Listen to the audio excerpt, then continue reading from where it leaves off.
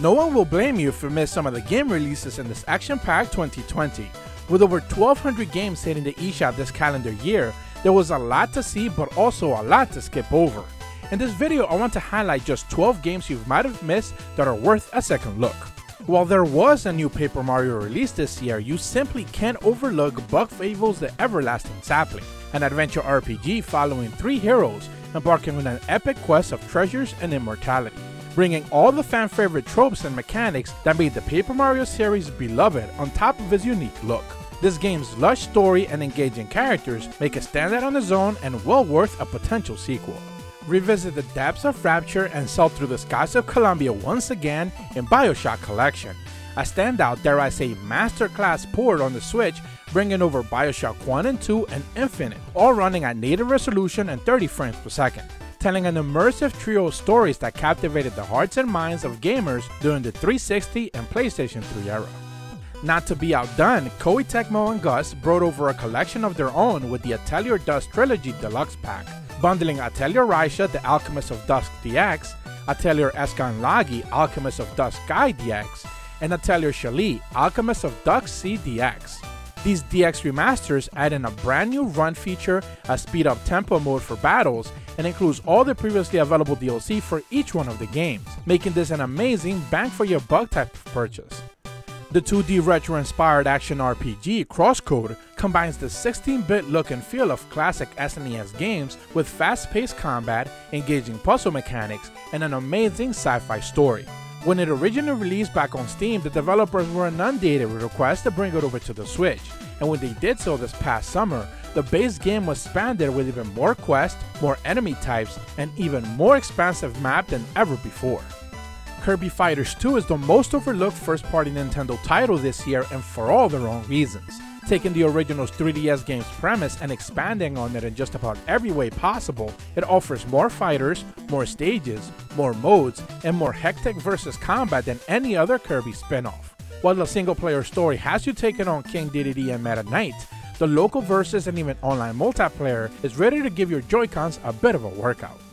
Nexomon Extinction is a return to classic monster catching games with a completely new story, over 300 Nexomon exclusive to this title, and a full sized game that's easily won my Surprising Game of the Year award in 2020. While the original launched on mobile, this console entry shines with a smart but funny story, all the mendings of a monster taming RPG, and a level of dedication by the developers who have been adding and patching to it non stop since its original launch.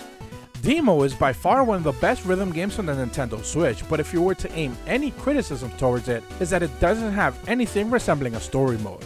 The new entry, Deemo Reborn, aims to fix that with the tale of a young girl stuck in a mysterious castle and a tree that grows whenever melodies fill the air, giving players the option to focus on playing the traditional rhythm gameplay and enjoy over 60 songs or tackle the story and help her find her way back home.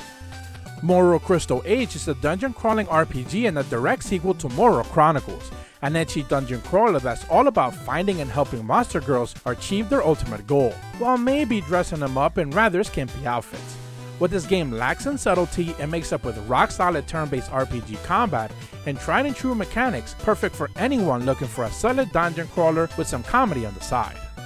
Hit the road in war torn America to bring your delicious creations to the masses in Cook Serve Delicious 3, a sequel to one of the best cooking sims we've seen in recent years. While not reinventing itself too much, enjoy a single player story that can be played in full co op and decorate your food trucks to your heart's content. Then take on over 300 levels tailor made to test your skills and sometimes your patience. A new group has replaced game industry CPUs seemingly overnight, and Neptune is nowhere to be seen when the three other goddesses are in dire need of her help in Mega Dimension Neptunia V2, a turn based 3D RPG and the first official Neptune mainline game with a Nintendo console. Link up character attacks to break enemy parts, find a way to rescue the other goddesses, and bring the group back together to save industry once more, and a wacky hijinks tale familiar to fans of the series. Brigandine The Legend of Runersia is a tactical strategy RPG where many kingdoms are fighting for resources, but only the clever and cunning will be able to achieve victory. Choose your side and try to conquer the map by forming alliances and betraying those closest to you. Newcomers will be treated to an even enhanced version of the game, as the developers have launched a massive set of updates, improving on the game's criticisms from back the original launch, making this an even easier recommendation than ever before. Shiren the Wanderer, The Tower of Fortune, and The Dice of Fate is the latest installment in the storied franchise where Reeva, the god of destiny, still holds sway over the past, present, and the future. In a classic roguelike mystery dungeon fashion, defeat foes and bring yourself ever closer to befriending a god in a gorgeous 2D pixel art game with tons of quality of life improvements that will be sure to make fans of this genre extremely happy.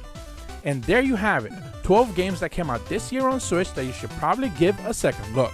This is my third consecutive year that I've done these type of videos, and I love hearing people discovering new games that they might have completely overlooked. If you're new to my channel, be sure to leave a like and subscribe, and as always, thank you so much for watching. See ya!